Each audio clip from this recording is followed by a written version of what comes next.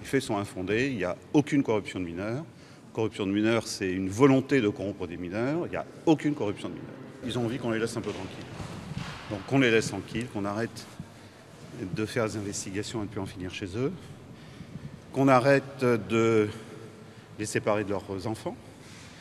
Hein, ça fait un an qu'il y a deux enfants qui, qui sont hors de la maison, qui ne demandent qu'une chose, c'est à revenir.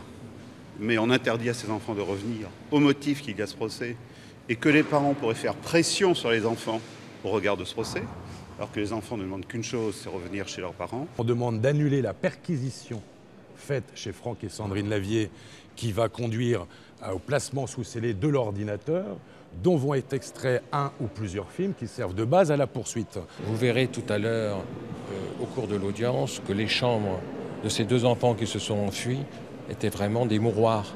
Il n'y avait même pas de lumière, il n'y avait pas de poignée pour sortir, et il y avait des caméras partout. Pour filmer des enfants qui arrivent presque à l'âge de la puberté, on peut se poser des questions sur des parents qui mettent des caméras partout.